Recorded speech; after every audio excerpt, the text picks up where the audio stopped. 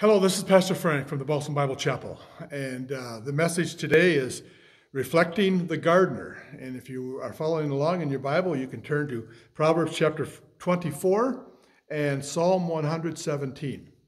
Uh, if you can see in the background behind me, we had our vacation Bible school this week, and uh, Australia was the country that uh, was the featured country as far as the, uh, the lessons, and so. Um, there's some posters there with the uh, various things regarding Australia, some of the animals and the, the places and things like that. It was a good week.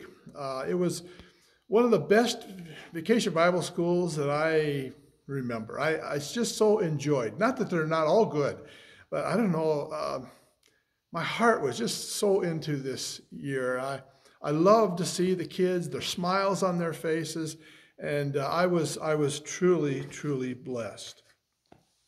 Um, but now uh, to the message. The uh, I ask you to turn to Proverbs 24, and I've talked about Proverbs 24 uh, in the past, and I was thinking that uh, you know sometimes Scripture is like a, a garden hole. Uh, you know, a hoe that you use. The, the hoe is one instrument, but you can use it for different things. Uh, you can use the hoe to make rows so that you can plant your seeds. You can use a hoe to chop weeds. You can use a hoe to loosen up the soil um, so that the rain will soak down in. There's a lot of uses for the whole. And you can look at one passage of Scripture, and especially in this garden series, see different things that this one passage of Scripture shows us. And uh, anyhow, today, Proverbs 24 is one of those passages. So the Bible is a living book. It's a wonderful book, and I, I hope that you are loving your Bible.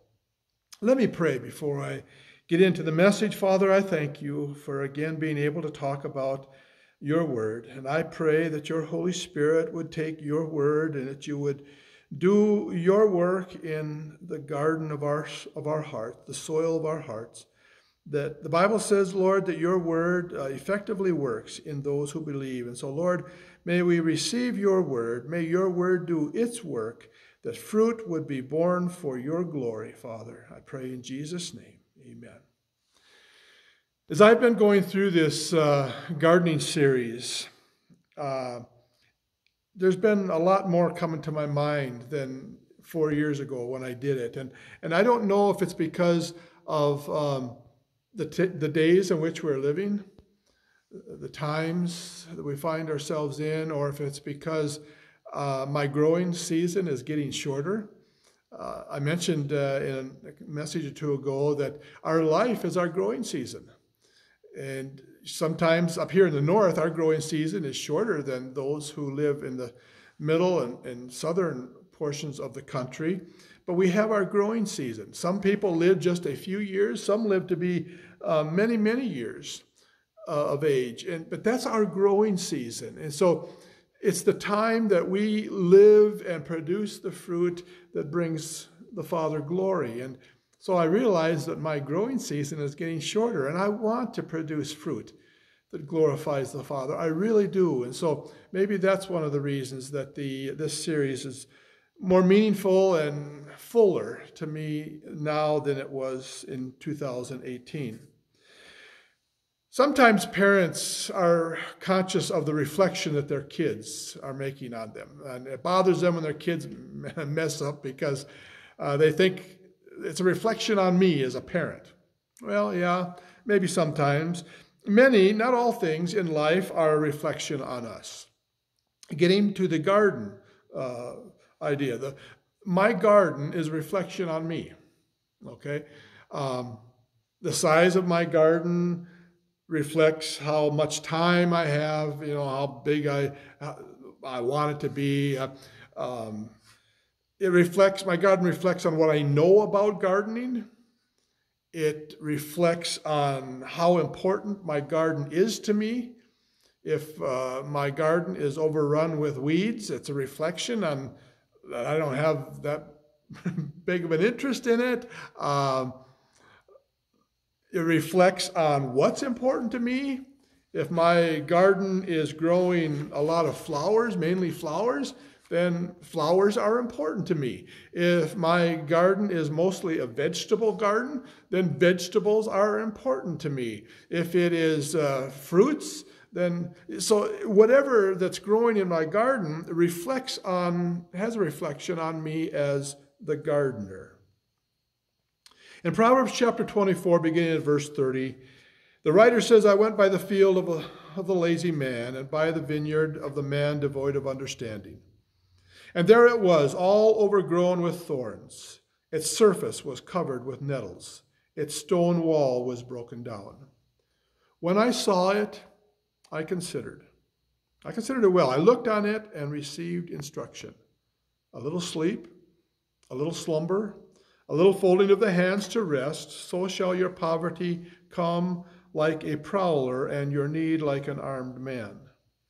In verse 32, the writer says, When I saw it, I considered it well.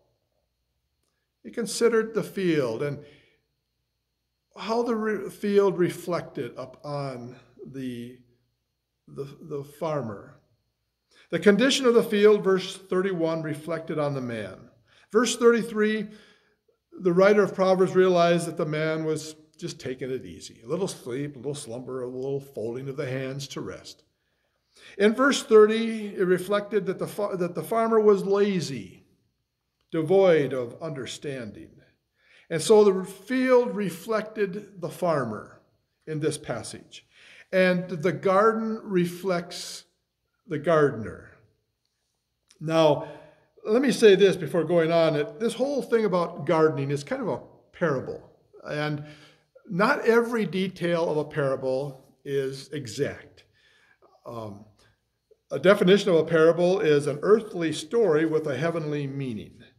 And parables are meant to illustrate doctrine, they are not doctrine themselves. And so, um, this parable of the garden, not every detail is exact, but in 1 Corinthians 3 9, the Bible says that you are God's field. Uh, this is the parable. In Matthew 13, Jesus, in giving the parable of the, uh, of the soil, the sower, said that our heart is the soil. And so the garden reflects the garden. At least in my case, my garden reflects me. But when it comes to the spiritual aspect, we should reflect the gardener. Our life should reflect the Father. Jesus said, My Father is the vine dresser John 15, 1. He's the gardener. Okay.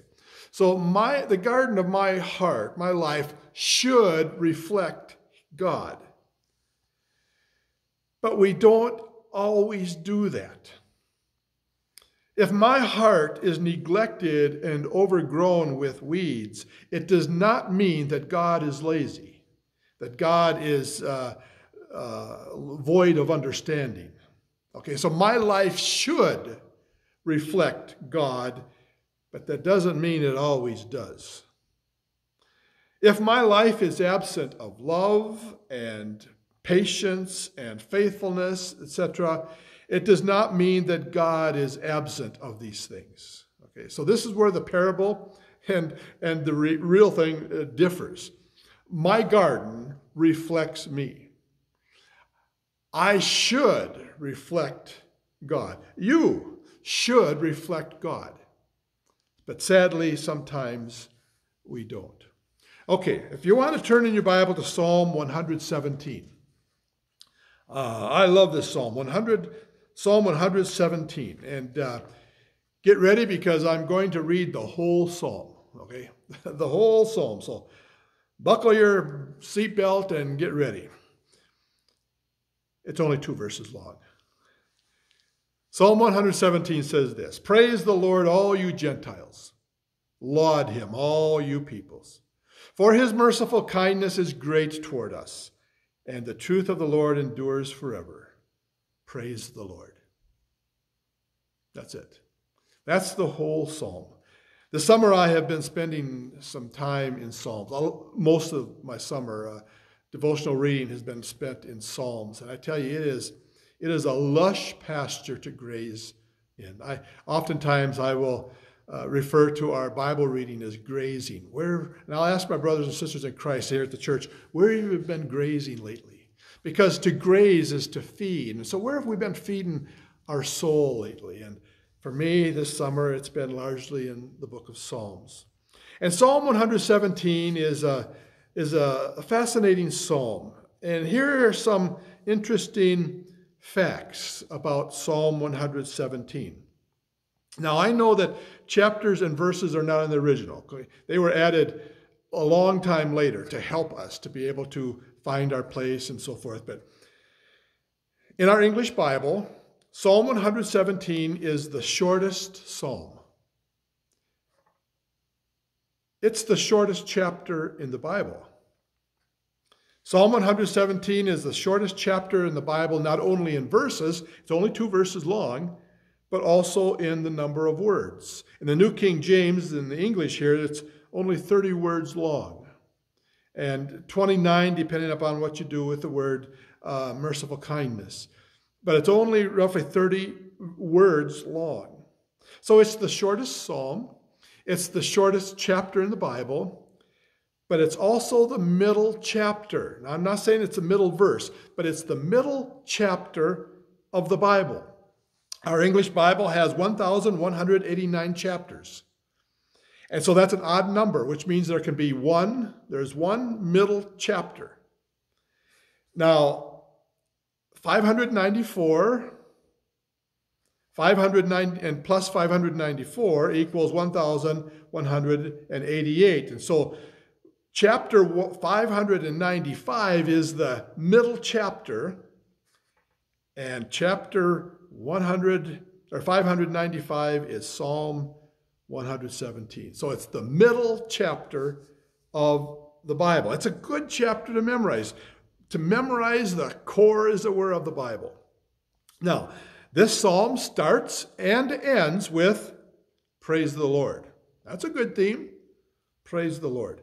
Now, toward the middle of the chapter, and I'm not saying it's the exact middle wording, but toward the middle, in the middle of the chapter, we find God's merciful kindness. So put this all together. God has given us the center chapter of the Bible as the shortest, easy to memorize. The shortest chapter of the Bible begins and ends with Praise the Lord. That's a pretty good theme for us, for us uh, followers of Jesus. Praise the Lord. And in the very core of that is God's merciful kindness.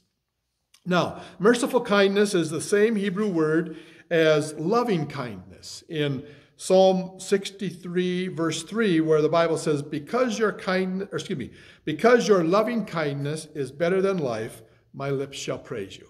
That's a good verse. Because your loving kindness is better than life, my lips shall praise you. Uh, so, at the core of the middle chapter of the Bible is God's merciful kindness or loving kindness. Just ponder that. At the core of God's word is God's merciful kindness to us, his loving kindness. Now, both the word merciful kindness and loving kindness involve kindness. Okay? If you want to follow along, and I, I would encourage you to, if you, if you can, turn with me to Galatians 5, the fruit of the Spirit. Now, you might think, oh, I don't need to turn there because I already know what the Bible says about the fruit of the Spirit. But I want to point out something here that I think is so fascinating in light of all of this. Um, now, this uh, Galatians 5 22 and 23, the fruit of the Spirit, is one of those passages that's like the whole, like I mentioned earlier. You can use a whole for different things. You can use this fruit of the Spirit to, to show different things. I, I want to show you something that I think is so special. One of the things that's so special. Um, the fruit of the Spirit is what the Spirit produces. Okay, it, it's God's Spirit. The fruit of God's Spirit is these things.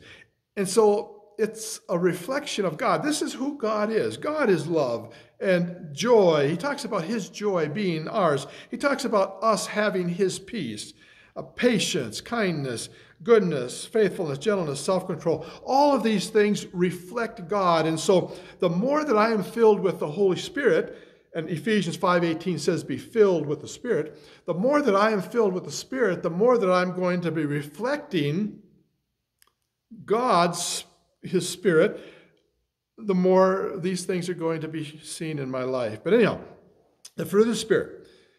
Galatians 5, 22 and 23. And I'm gonna I want to count these. There's there's nine of them, okay?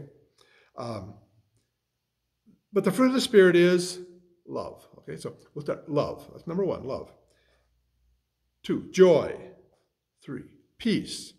Four, long suffering. Or another way somebody say, says it is kindness. Or uh, patience. Excuse me. So we have love, joy, peace, long suffering or patience, then kindness, then goodness, faithfulness, gentleness, and self control. So that's, that's nine. So we have four here and we have four here. Number five is the middle of the fruit of the Spirit.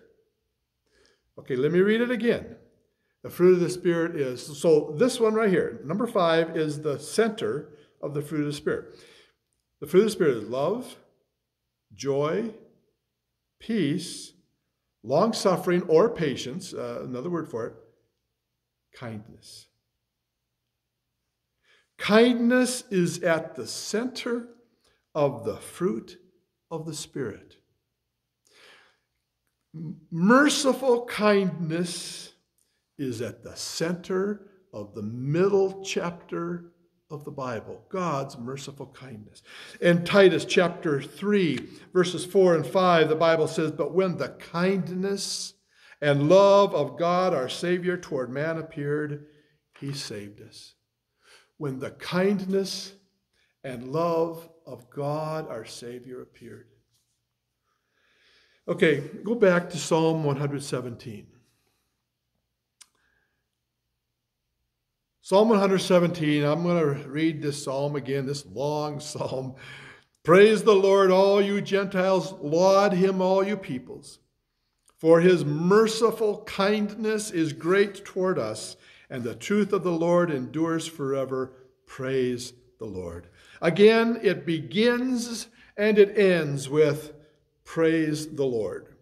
And notice the Bible here in verse 1 says, All you Gentiles all you peoples. This is not just for the Jews, for the Israelites.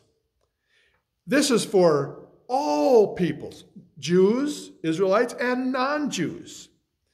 And this is written so that the reader reads this and he sees that, praise Lord, all you Gentiles, you and I, no matter what our nationality is, this is for us. Because whether we're a Jew or a Gentile, we are included in all peoples. The Bible says in verse 1 Laud him, all you peoples. What does laud mean? This is the New King James, but what does laud mean? Well, in Merriam Webster's dictionary, it gives some synonyms to the word laud. And those synonyms are bless, celebrate, exalt, glorify, magnify, praise. And so it could read something like this.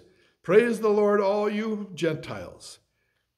Bless him, exalt him, glorify him, magnify him, celebrate him, all you peoples.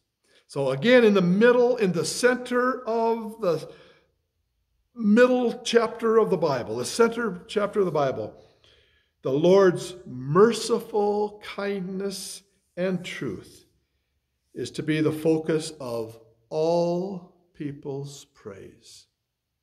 What does God want? Again, we can memorize this, it's so short.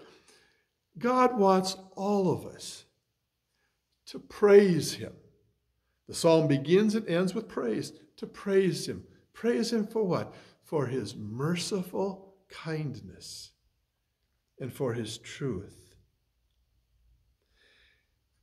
The garden reflects the gardener, at least in our case.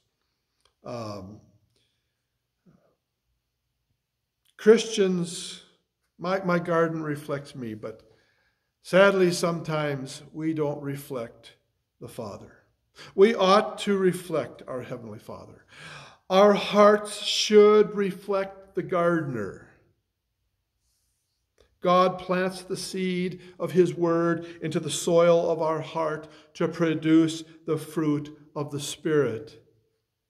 To the glory of God, to the glory of the gardener. Again, God plants the seed of His Word. And that's what the parable of the sower talks about the seed of His Word into the soil of our hearts to produce the fruit of the Spirit. Jesus said in John 15, 1, My Father is the vine dresser, my Father is the gardener. And in verse 8 of John 15, he says, By this my Father is glorified, that you bear much fruit. The Lord is to be praised. Psalm 117. He is to be lauded, celebrated, extolled, magnified. And we are to magnify him, to praise him because of his merciful kindness. You know, our Father, the one that we're to praise and glorify and honor, he is known for his merciful kindness. And what greater way is for us to praise him and to laud him than to reflect his merciful kindness to others? You know, there's an old saying that um, imitation is the sincerest form of flattery. Okay? Imitation is the sincerest form of flattery. Now, it's not that we flatter God, but we are to praise him. We are to glorify him. What greater way to praise him than to imitate him? We praise, we bless, we exalt someone when we desire to be like them. In Romans 8:29, the Bible says that God has predestined us to be conformed to the image of his son, the image of Jesus Christ. What better way to praise the Lord than to imitate him, to be like Jesus? to show his merciful kindness to one another. Well, in closing, again, we are God's field. It doesn't say that we could be, should be, or might be, will be. I stress that over and over. It doesn't say that. It says we are God's field. We are God's garden. So the question is are we rightly reflecting the gardener? Are we rightly reflecting God? Are we rightly reflecting our Heavenly Father? How conscious are we of the fruit of the Spirit being produced in our life? Because that's who God is. You want to know what love is? God is love. You want to know what it looks like to have joy and to, to pa- patience and kindness? All of these things, God is these things. So our minds ought to be taken up with the fruit of the Spirit and producing that which reflects our Father. Is God's kindness at the core of our life? Again, at the center of God's Word, at the center chapter, is the merciful kindness of God. At the center of the fruit of the Spirit is kindness. Is kindness at the core of our hearts. I mentioned at the beginning that this week was VBS. And every day as I would walk over, and it was a good week for me. I tell you, it was such a good week. But every day as I walked over to church, with all of this in mind that I've shared with you, I had a simple prayer. And it seemed like every day when I reached this point in the driveway, right before I rounded the bend so that I could see the church, this was my prayer Lord, help me to reflect you today. Help me, Lord, to reflect you today. That means that I love these boys and girls and my fellow workers at VBS and the parents and grandparents and whoever brings them. That means that I have the joy of the Lord. That means that I have peace and am at peace. That means that I am kind and I show kindness. Lord, help me to reflect you today. The chorus of the song, Oh, to be like thee, says this Oh, to be like thee. Oh, to be like thee. Blessed Redeemer, pure as thou art.